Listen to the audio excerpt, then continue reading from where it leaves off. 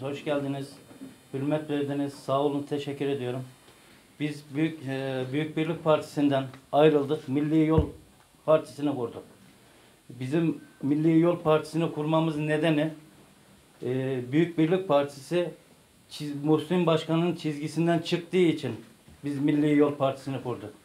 O yüzden bu Milli Yol Partisi Allah'ın izniyle e, bu seçimlerde e, milletin umudu, milletin sesi olacak.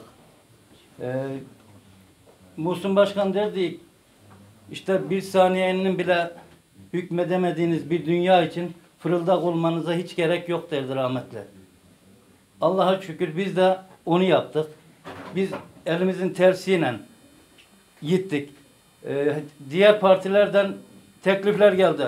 Remzi Başkanımıza, Genel Başkanımıza da, Haşim Yanar Başkanımıza da, il başkanlarımıza da çok teklifler geldi. Ama bunu hep elimizin tersine yitip işte bu milletin umudu olmak için biz de buraya bir şerbet atalım, bir hizmet yapalım diyerek Müslüm Başkan'ın davasını sürdürmek için bu Milli Yol Hareketi'ni kurduk.